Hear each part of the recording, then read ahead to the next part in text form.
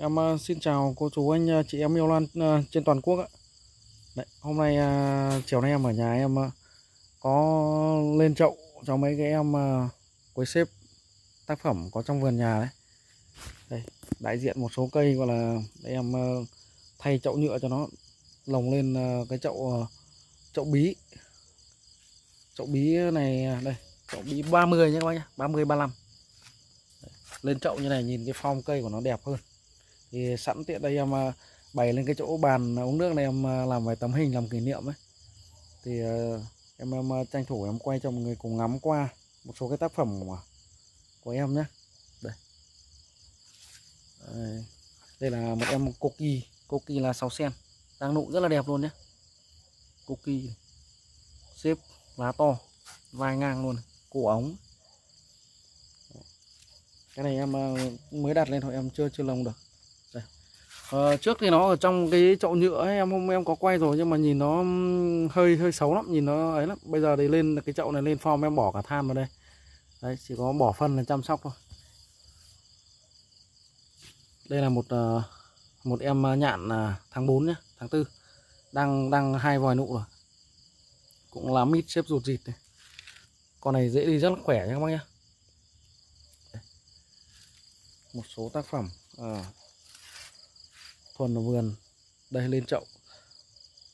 Nó trước nó ở trong một cái chậu nhựa bé tí này. em lồng thêm lên cái chậu nhìn cũng đẹp form nó nhìn nó gọn hẳn lên. Đấy, nhìn nhìn nó tạo điểm nhấn cho cái cây hơn. Đây. Đấy.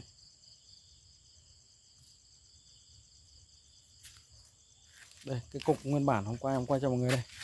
Nhưng ngọn này mà nhìn thực tế nó rất rụt rịt nhé các bác nhé.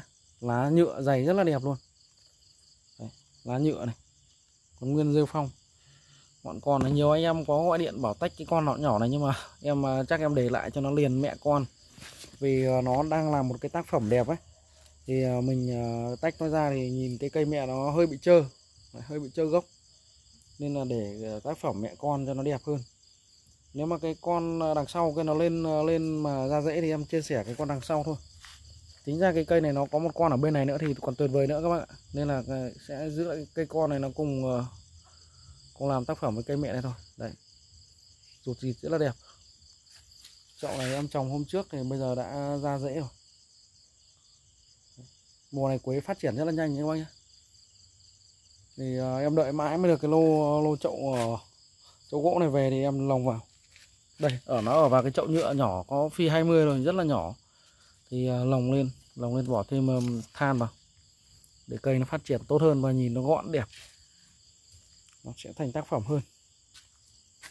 Đây. À, cái dàn này của em nhìn thực tế nó cũng khá là phê nha các anh đấy là đại diện một số cái cây tác phẩm ở trong vườn đấy.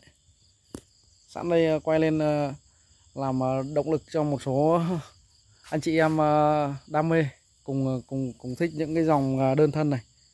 Đấy, sẽ chăm được sẽ chăm được những cái tác phẩm tác phẩm vip nếu mà tầm tháng 8 mà có cái hội ờ, lan đơn thân thì thì những cái cây này ra những vòi hoa rất là tuyệt vời thì mình mang đi dự rất là đẹp nhé các bác.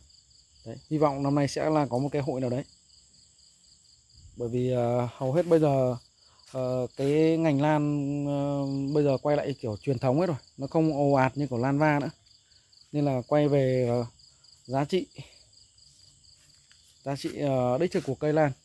Đấy, đúng là uh, đam mê chia sẻ tận hưởng những cái tác phẩm mà chính tay mình tạo nên từ chăm sóc từ những cái cây nhỏ luôn các bác nhé. Đấy. em uh, cũng khoe một chút cái cái mấy cái cây ở vườn nhà mình thôi.